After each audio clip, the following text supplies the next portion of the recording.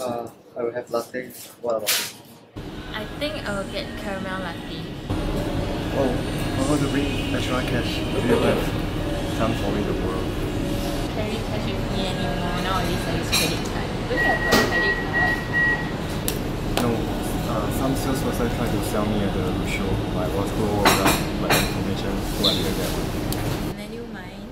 Let's see. I have this card, this card, and this card. Uh, let me check which has the best discount for Starbucks first. Why do you sign up for so many?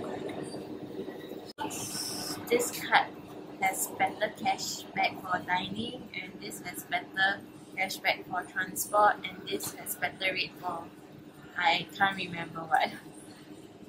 Hey, hi guys. Haven't you ordered any drinks yet? Not yet. I'm trying to recall which card has the best rate for Starbucks. You have credit cards there. I used to have so many credit cards as well, but I couldn't hit all the minimum spending. In the end, I also cannot get the guarantee cashback on. After that, my friends recommended me to use the credit card recommendation system.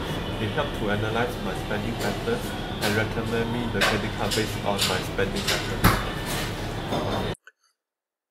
Before the introduction of the credit card recommendation systems, I used to search for the credit card in the famous credit card recommendation website, which is known as moneysmart.sg.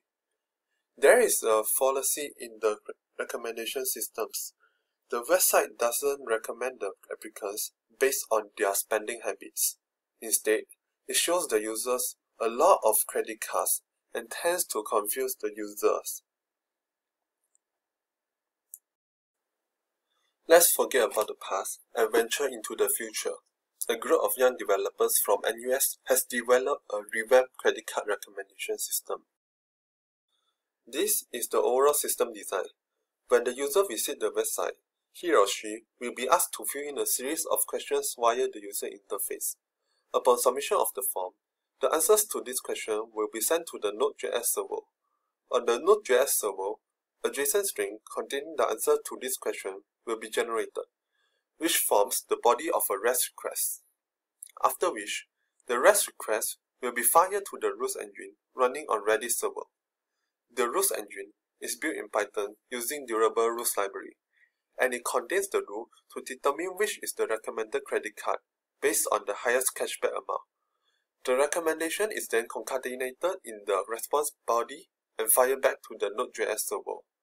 The results are then returned and rendered in the user interface. The user interface, or so-called UI of the system, is a web-based application running on Vue.js. The website will collect necessary data through UI system user dialog, followed by sending collected data to the backend rule engines, which in the end, the UI will display the best credit card and eligible cashback amount to user after receiving the backend result. Let's take a look at the Durable Rules engine. The Durable Rules engine is more variable compared to the CLIPS engine. The engine implements full forward chaining and cache inference state in Redis. This engine also provides simple annotation to define the rules and facts, and easily integrated within Python applications. Last but not least, the Durable Rules engine provides shorter learning curve compared to other rules engine like CLIPS with own syntax. In order to provide the best credit cards, the developers have enhanced the accuracy via conduction of survey and data extraction. Now I'm using a single credit card and I'm able to meet the minimum spending requirement on that card. Wow. Can you introduce me to this system?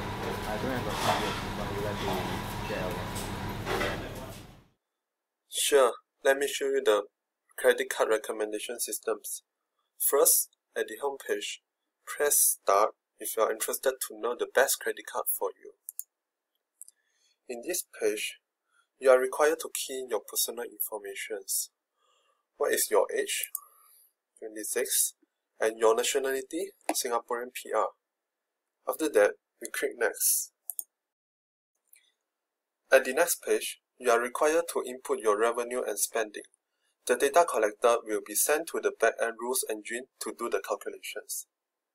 Key in your annual income and also your average money spending. After that, you are required to key in the details in which category you spend the most. Let's try out. If you key in 30% on dining, 10% on public transport, 0% on petrol, 5% on taxi, and 0% again on the house bills. Let's see what is the expected outcome. We press submit buttons and then we wait for a while while the backend is doing the calculations. Okay, here you go. This is the recommended credit card for you. If you are interested to look at the more detailed information, you can press at the DBS Live Fresh Card and it will prompt you to the bank home page. Wow, great. Thanks for your. Okay, you're welcome.